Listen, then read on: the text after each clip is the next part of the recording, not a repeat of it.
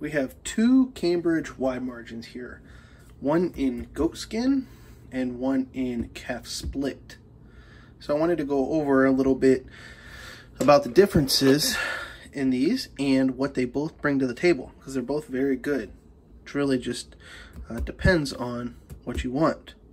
So these are both wide margins, but one is a Concord. That just is a KJV Bible. And then the other one is just an ESV wide margin.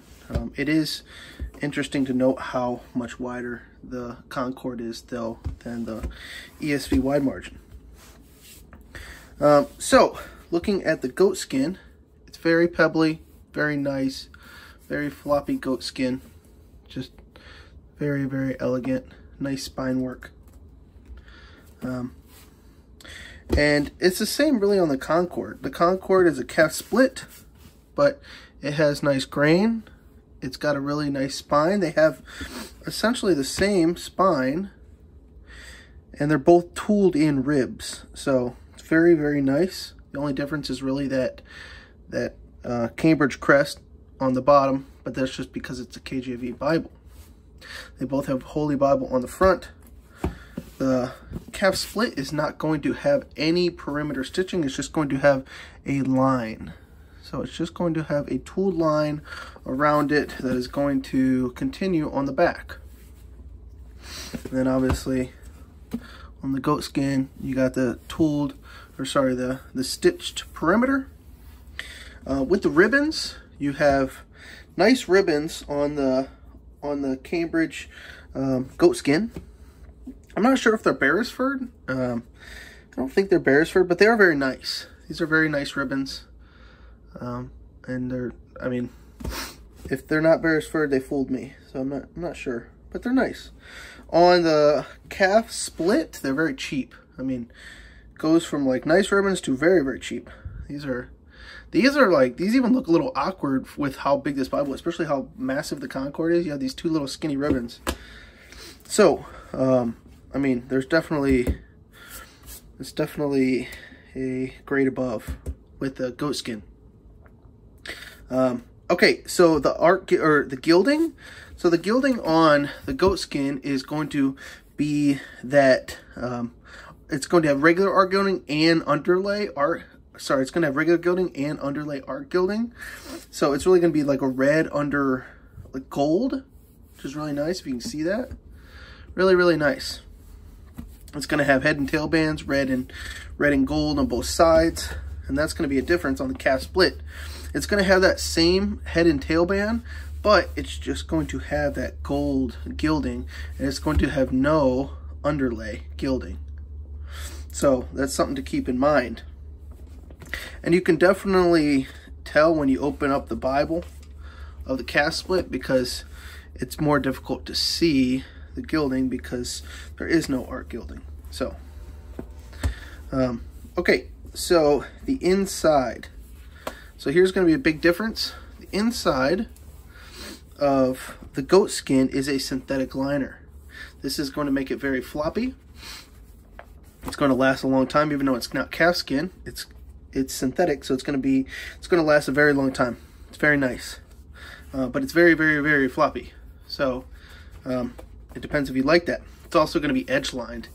So uh, that's going to keep the pages in um, a lot longer and also give it that flexibility. So that's nice about it being edge lined. Now, that's not to discredit the calf split because the calf split, just like if you've had a Pitt Minion, um, you can you know that the whatever they put here, which it's it's a paste line, some sort of a paste line, paste down, but it seems like either just a very high end um, piece of of fabric.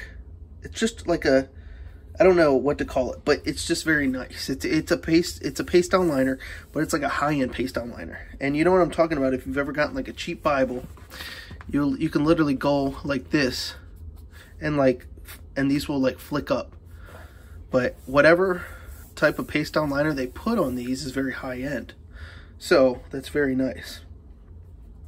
Um, but the inside is exactly the same. There is no advantages at all. Whatever you get, now this is KJV and this is ESV, but there is no advantages at all to having um, calf split versus goat skin on the inside of the Bible. What I do want to point out, and I think this is the most important part to me, um, is portability. So I don't find the portability of the goat skin very good because literally it's so massive. Look at this.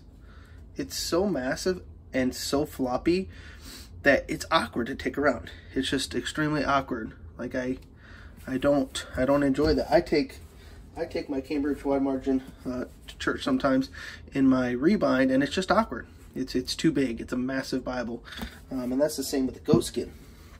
So, this is the advantage. If you want to take this places, I would actually recommend the calf split because it it stays so firm and it's so nice. Look at this. This is a this is a bigger Bible than this one, so it should be super floppy. Look at this. I'm doing the same thing. I am trying to make it as floppy as possible. There's almost no give. So that also means that when you open it, it's going to be able to stay open. Um, you can read from it. So it's going to be a little bit easier. It's not going to get super floppy where it's going to like bend over. Like, look at this. Look at that. I mean, you can't read that. So if you're a preacher, teacher, um, the goatskin version is I would say more of a desktop use. Just use it on a desktop. But I mean, look at that. It's like a it's like a bird. And then you got the calf split, and it just stays right open. You can read from it. Um, I would actually prefer the calf split myself.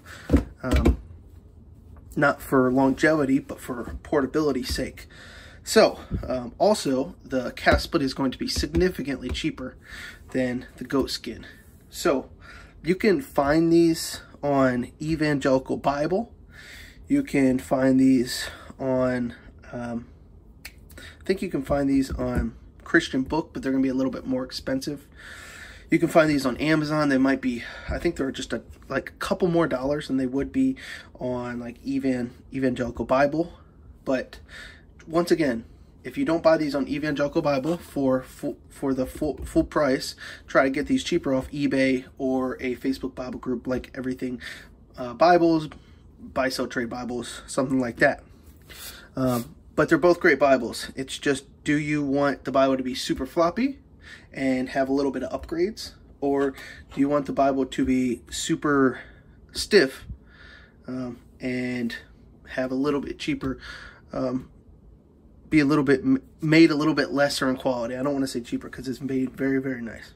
Okay, guys, I hope that you found this review beneficial and I hope that you guys have a blessed rest of your day. All right, bye.